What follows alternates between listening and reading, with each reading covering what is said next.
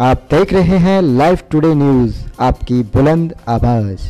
Aligarh Muslim university में छात्र संघ चुनावों की घोषणा न किए जाने से नाराज़ छात्रों ने सोमवार को एएमयू के बाबे सैयद गेट तक पैदल मार्च निकाला और एएमयू इंतजामिया प्रशासन को बहत्तर घंटे का अल्टीमेटम देकर चुनाव कमेटी गठित करने की मांग की। अलीगढ़ मुस्लिम यूनिवर्सिटी प्रशासन की छात्र संघ चुनावों को लेकर लेट लतीफी ने छात्रों को नाराज़ कर दिया है। छात्र संघ चुनाव में देरी ऐसी नाराज़ छात्रों ने इंतजामिया के खिलाफ प्रदर्शन करते हुए एएमयू के बाबे सैयद गेट तक पैदल मार्च निकाला। इस दौरान छात्रों ने एएमयू इंतजामिया पर आरोप लगाते हुए कहा की सभी विश्वविद्यालयों में छात्र संघ चुनाव कराए जा चुके हैं लेकिन एएमयू में अभी तक चुनाव कमेटी तक गठित नहीं की गई है, जबकि लिंगदो कानून के नियम के मुताबिक सत्र स्टार्ट होने के छह से आठ हफ़्ते के अंदर छात्र संघ चुनाव संपन्न कराया जाना चाहिए, लेकिन अब तक चीफ इलेक्शन ऑफिसर की नियुक्ति तक नहीं की गई है, जिससे नाराज़ छात्रों ने इंतजामिया को बहत्तर घंटे का अल्टीमेटम देकर जल्द चुनाव कराए जाने की मांग की। चुनाव न कराए जाने आरोप छात्रों ने पीसफुल धरना प्रदर्शन की भी चेतावनी दी है।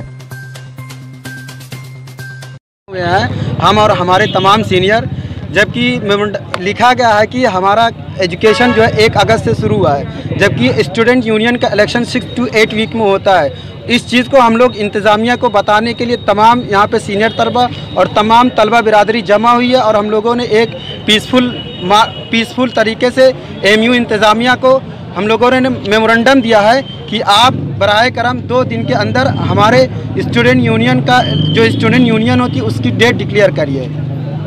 अदरवाइज़ क्या करेंगे अगर नहीं करते इसके बाद दो दिन हम लोगों ने दो दिन का टाइम दिया। इसके बाद अगर नहीं होता है फिर हम लोग दूसरा रास्ता अख्तियार करेंगे। हम लोग ये peaceful march Aligarh Muslim University student union के बहाली के स्टूडेंट यूनियन के के लिए निकाला गया है। लिंगडो का रूल जो होता है छः से आठ हफ़्ते के बीच में इलेक्शन करवा देना चाहिए कंप्लीट हो जाना चाहिए।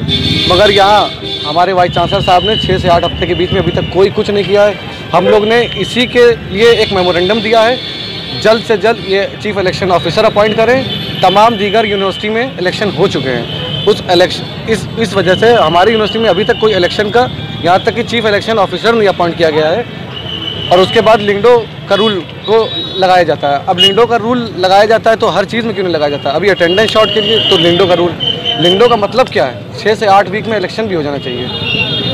तो हम चाहते हैं कि हमारे वाइस चांसलर साहब जल्द से जल्द चीफ इलेक्शन ऑफिसर अपॉइंट करें डेट दें, ताकि हम अपनी तैयारियों में लग जाएँ और अलीगढ़ मुस्लिम यूनिवर्सिटी से जो सियासी, जो लीडरान का इंतखब होता है, इस साल फिर से एक लीडरान, अच्छी सियासी लीडरान का इंतखब हो।